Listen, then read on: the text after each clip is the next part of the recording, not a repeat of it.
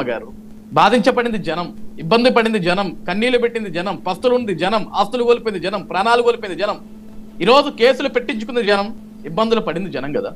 ఈ రోజు సజ్జాజయ్ చెప్తేనో వర్మ గారు చెప్తేనో ఇంకొకరు చెప్తాను ఇంకొకరు చెప్తేనో ఓట్ వేసే ఓట్ వేయకుండా ఇంట్లో పడుకునే దానికి జనం ఏమీ అట్లా ఫూలిష్గా లేరు. రాష్ట్రాన్ని కాపాడుకోవాలా? ఈరోజు రాష్ట్ర భవిష్యత్తు కోసం చంద్రబాబు నాయుడు గారు పవన్ కళ్యాణ్ గారు బీజేపీ నరేంద్ర మోడీ గారు అందరూ ఏకమై ఆంధ్రప్రదేశ్ రాష్ట్రంలో యుద్ధాన్ని మొదలు పెట్టారు ఆ విషయం ప్రజానికం మొత్తానికి తెలుసు.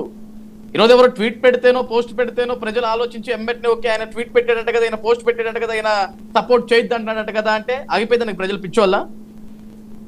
ఈరోజు ప్రతి ఒక్క గడపలో కన్నీరు పెడుతున్నారు సార్. ప్రతి ఒక్క గడపలో బాధించబడ్డారు. ఈరోజు కేసులు పడిన వాళ్ళ మాత్రమే కాదు కేసులు పడకుండా ఇంట్లో ఉన్న వాళ్ళు కూడా ఎంత నరకయాతన చూస్తున్నారంటే ఈ ఐదేళ్ళ జగన్మోహన్ రెడ్డి గారి పరిపాలనలో. ఈరోజు కేవలం ఒక పోస్ట్ వల్ల వెనకడిగేస్తారా వేరు కదా. ఈరోజు నేను ఒకటే చెప్తున్నాను వర్మ గారు. ఎవరు ఎన్ని పోస్టులు పెట్టినా లేకుంటే ఎవరో సపోర్ట్ చేస్తే ఎవరో మద్దతు ఇస్తా మద్దతు ఇవ్వమంటే ప్రజలేమి చేతులు పెట్టుకొని లేరండి ఇక్కడ. నేను చెప్తున్నాను కదా పిఠాపురంలో పవన్ కళ్యాణ్ గారు అత్యంత భారీ అయిన మెజారిటీ తోటి గెలవబోతున్నారు. ఈరోజు సార్ చిన్న ఎగ్జాంపుల్ సార్. పవన్ కళ్యాణ్ గారి కోసం ఈరోజు కుటుంబ సభ్యులు మొత్తం ఏకమై వచ్చారు కదా. ఎందుకండి? మంచి.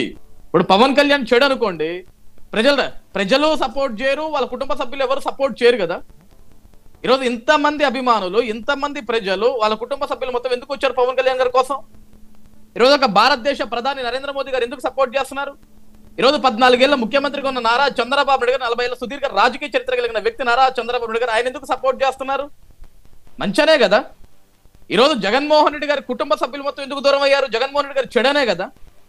మంచికి చెడుకున్న వ్యత్యాసం వర్మ గారు అది ఈరోజు ఎవరో పోస్టులు పెడితేనో ట్వీట్లు పెడితేనో ప్రజలు వెనకడిగేసేదానికి సిద్ధంగా లేరు. ఆంధ్రప్రదేశ్ రాష్ట్రంలో ఎన్డీఏ కూటమి అధికారాన్ని చేపట్టబోతుంది. ఇది ఎవరు అవునన్నా కాదన్నా సరే ఇది వాస్తవం. ఇక్కడ ఎవడో వెనకడికి వేసేదానికి సిద్ధంగా లేడు. We're ready to fight we're ready to win ఈ ప్రజాక్షేత్రంలో మేము సిద్ధంగా ఉన్నాం గెలిచేదానికి ప్రజలు మమ్మల్ని గెలిపించేదానికి సిద్ధంగా ఉన్నారు. ఈ ట్వీట్లకి వెనకడికి వేసే పరిస్థితి లేదు. అసలు ఈ ట్వీట్లను పట్టించుకునే పరిస్థితులు మేము లేవు. ఎందుకంటే మా ప్రచారాలు బిజీగా ఉన్నాక కేవలం వారం రోజులు కదా సార్ వర్మ గారు ఉంది. ఇప్పుడు ఇవన్నీ ఎవడు పట్టించుకునే దానికి సిద్ధంగా ఉన్నాడు చెప్పండి?